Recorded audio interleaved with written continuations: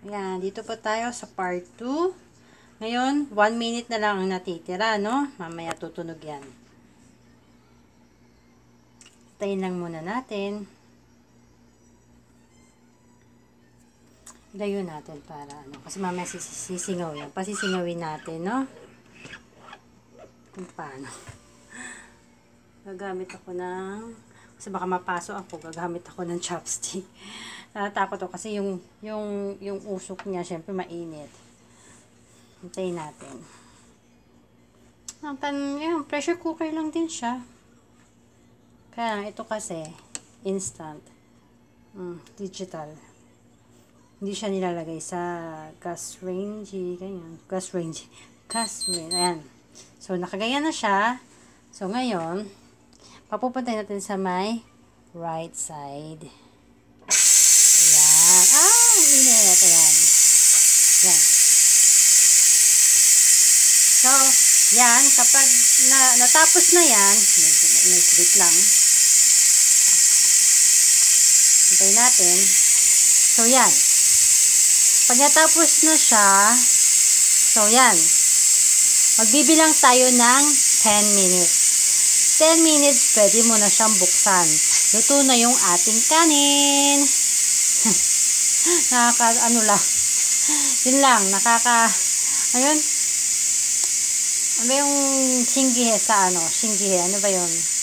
Parang nakakamanghalang kasi first time ko lang kasi gamitin din to, no?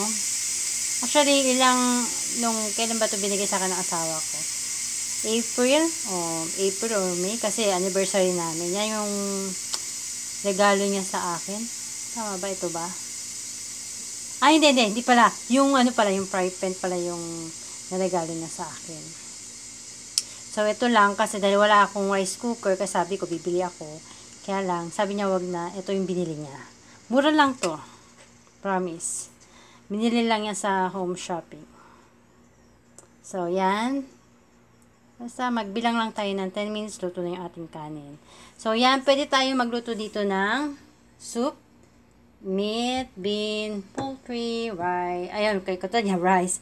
Multigrain, um, porridge, tapos uh, steam. Steam natin siya. Pwede din sa steam. Tapos, uh, ano ba pwede ba dito? Ano, slow cook. So, ito yung parang pwede kang magisa-gisa. Ito yun eh. Yan, pokum. Yan, pokum sabi niya.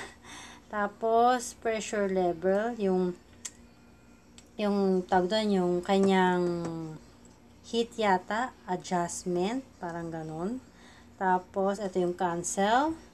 Pag yung kanin natin is, ah, uh, halimbawa, ta- kakain na tayo, no? So, yung, yung kanin, pag kukuha tayo ng kanin, kailangan i-off na na, i-cancel na natin. Pag tayo, pag mayroong nat, may natitirang kanin pa, so kailangan, i-keep warm lang natin. Siguro mga 3 to 5 minutes, mainit na yung kanin. Tapos, i-off natin ulit. Para lang din siyang, ano, tawag dyan, yung microwave. Yan. Pero kapag laging naka-keep warm siya, ang kanin natin didikit sa mismong kaldero. Ang hirap linisin. Yan ang tip ko sa inyo. So, pag meron kayong ganitong, dito kayo, meron kayong ganitong rice cooker, dito kayo nagluluto ng kanin, yun lang. Pag, pag meron kayong bagong biling ganito, yun lang gawin ninyo. Kasi nung unang, nung unang bili ko rin to, ano din eh, medyo, medyo ano daw, tawag doon, Hmm, nahirapan din ako. Ang dami ko ding trial paano ko gamitin tong uh, rice cooker pressure na ito sa kanin. Grabe, ang dami kong mali. laging, na, laging dumidikit yung kanin sa ilalim ng kaldero. Tapos ba ibababad mo pa siya ng kay tagal-tagal. So, yun lang ano ko. Pag naluto na yung kanin, i-off lang natin. I-cancel lang. Tapos, pag tayo kakain at may, may kaning lamig, i-keep warm lang natin ito. Ito lang pipindutin natin, mga 5 at 3 to 5 minutes, okay na yung kanin. Tapos, i-off natin ulit.